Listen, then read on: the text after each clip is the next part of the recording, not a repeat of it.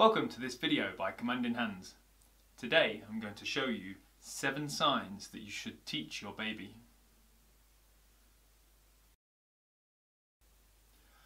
Milk. The sign for milk is two Y hands with your little finger and your thumb extended on both hands, next to each other and then up and down. However, your baby probably won't have the fine motor skills to extend the thumb and the little finger, so you can bring these in and just use two closed hands up and down next to each other. Milk.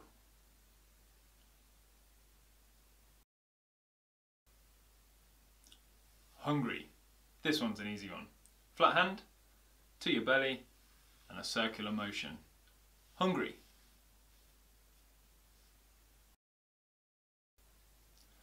Food. Bunch your fingers and your thumb together and just bring it towards your mouth. Food.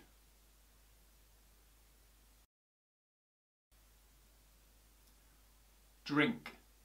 Your hand in a C shape as if you're holding a cup and then tilt towards your mouth. Drink.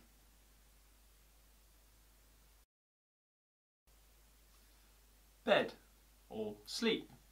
Two flat hands together to the side of your head and just tilt your head. Bed.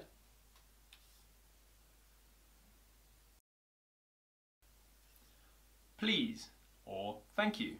They're the same sign, one flat hand, touching your chin and then move away from your chin. Please, thank you.